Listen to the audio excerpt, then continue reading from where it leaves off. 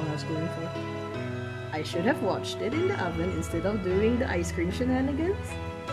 This was the, the color of the eye that I messed up and I had to remake them, so they're here because I'm not wasting these things. But, well, I like doing mine. Anyway, uh, where should we cut into this boy? Uh, it, it,